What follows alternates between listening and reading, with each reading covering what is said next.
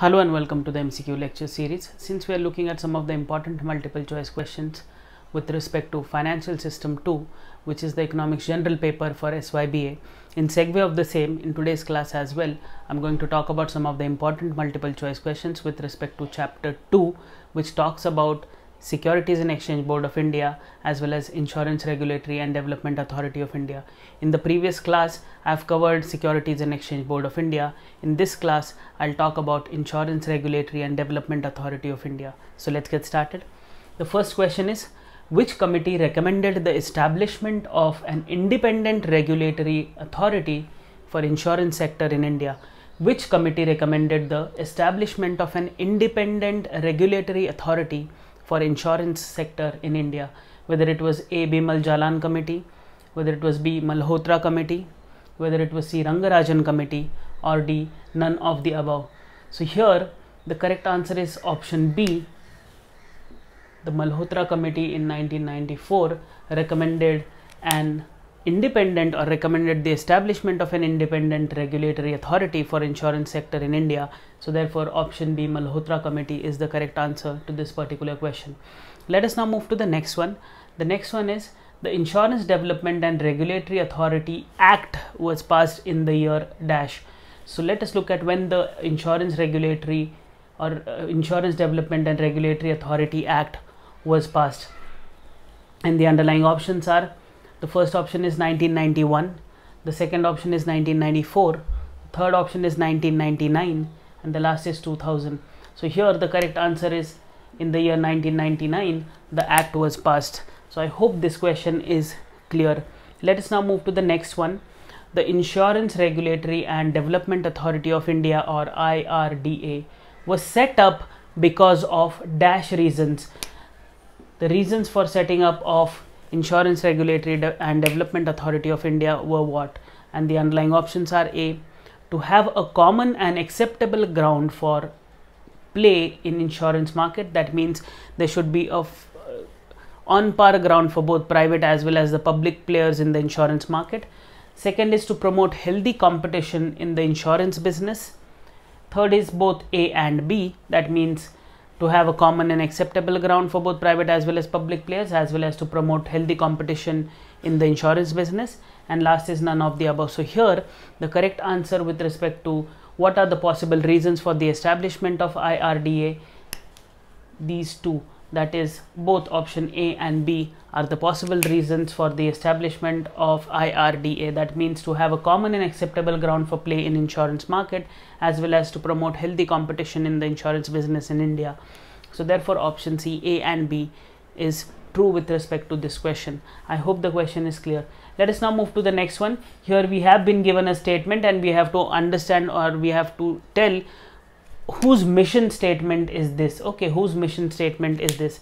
And the mission statement is to promote the interest of policyholders to regulate to promote and ensure orderly growth of insurance industry and for matters connected therewith or incidental thereto. Whose mission statement is this? Whether it is the mission statement of IBRD that is the International Bank for Reconstruction and Development. Second option is IRDA that is Insurance Regulatory and Development Authority of India, C Securities and Exchange Board of India or SEBI, D RBI that is Reserve Bank of India. So whose mission statement is this to protect the interests of policyholders, to regulate, to promote and ensure orderly growth of insurance sector and for the matters connected therewith or incidental thereto. It is the motto or mission of nothing but Insurance Regulatory and Development Authority of India or IR DA. So here option B is the correct answer to this particular question. I hope the question is clear. Let us now move to the next question. The next uh, question talks about the role of Insurance Regulatory and Development Authority of India and the question is framed in this fashion. Which of the following denotes the role of IRDA? And the underlying options are A. To protect the interests of insurance policyholders. B. To encourage systematic growth of insurance industry. C to set, promote, monitor, and apply hand, high standards of integrity. And last is all of the above. That means to set, promote, monitor, and apply high standards of integrity, as well as to protect the interest of insurance policy holders and to encourage systematic growth of the in uh, insurance industry in India per se. so here all of these are true with respect to the roles played by IRDA or Insurance Regulatory and Development Authority of India. So here option D all of the above is the correct answer to this particular question. I hope the question is clear. The next question as well deals with the roles of IRDA and the question is framed in this fashion. Which of the following are important roles of IRDA? Important roles of IRDA and the underlying options are A to ensure clarity preciseness and transparency while dealing with insurance policy holders. Second option is to provide dispute resolution mechanism and speedy settlements. The third is to bring about optimal amount of self-regulation in day-to-day activities.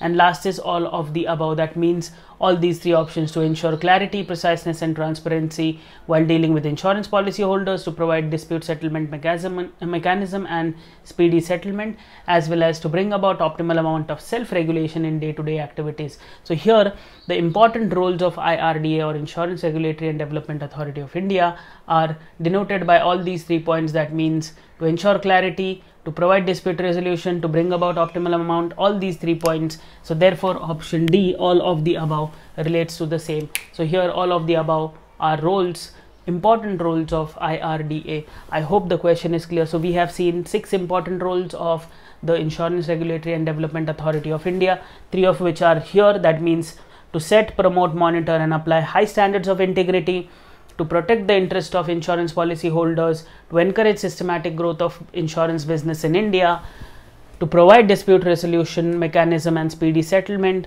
to bring about optimal amount of self-regulation in day-to-day business, as well as to ensure clarity, preciseness and transparency while dealing with insurance policy holders. So these are six important roles of IRDA. So I hope the six roles are pretty much clear. Let us now move to the next one. The main function, the main function of IRDA or the main functions of IRDA are laid down in dash section of IRDA Act 1999 which section specifically deals with the main functions of Insurance Regulatory and Development Authority of India which section of this particular act IRDA Act 1999 whether it is section 10 section 12 section 14 or section 16 very specific question difficult sort of question. So here the correct answer is option c. Section 14 of the irda act 1999 talks about the main functions of insurance regulatory and development authority of india i hope the question is pretty much clear let us now move to the next one which is specifically moving towards the functions of irda and the question is framed in this fashion the main functions of irda are dash so the main functions of Insurance Regulatory and Development Authority of India are A. To promote, regulate and ensure orderly growth of insurance business in India. B. To protect the interests of policy holders. C. To specify requisite qualification, code of conduct and training for financial intermediaries or insurance intermediaries. And last is all of the above. So here the main functions are denoted by all these three important points. The main functions are to protect the interests of policy holders, to promote, regulate and ensure orderly growth of insurance business in India, as well as to specify requisite qualifications, code of conduct and training for insurance intermediaries. So here option D, all of the above is the correct answer to this particular question. I'm giving you questions which have all of the above as the answers because we want to cover up certain important things with respect to, for example, here in this case, the functions. In the other two cases, it was the roles or important roles of IRDA.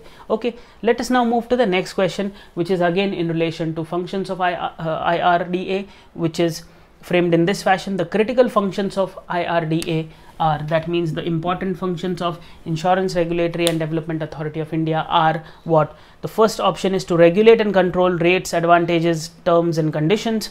B to regulate investment of funds by insurance companies adjudication of disputes etc third is specifying the percentage of premium to finance schemes. And last is all of the above. So here again all these three points that means regulate and control rates advantages terms and conditions to regulate investment of funds by insurance companies, adjudication of disputes, as well as specifying the percentages of premium to finance schemes are all in a sense talking about the critical functions of IRDA and therefore option D all of the above is the correct answer. Now with these two questions that is question number 8 and 9 we have covered six important functions of the Insurance Regulatory and Development Authority of India and they are to protect the interest of policyholders, to promote, regulate, and ensure orderly growth of insurance business, to specify requisite qualifications, code of conduct and training for insurance intermediaries, to regulate and control rates, advantages, terms, and conditions, to regulate investment of funds by insurance companies and adjudication of any disputes,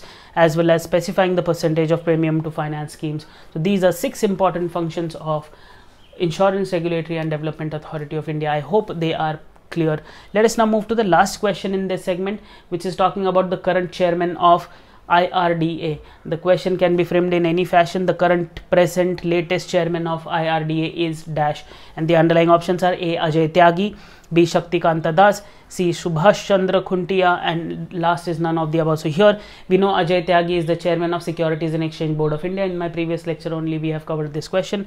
Shakti Kanta Das in the first lecture itself we have covered wherein he is the current governor of reserve bank of india here the correct answer is the chairman of insurance regulatory and development authority of india is none other than subhash chandra khuntia so therefore option c subhash chandra khuntia is the correct answer to this particular question. I hope the questions with respect to IRDA are pretty much clear. Now in the previous lecture in this lecture we have covered the entire chapter which is chapter 2 which talks about Securities and Exchange Board of India as well as Insurance Regulatory and Development Authority of India.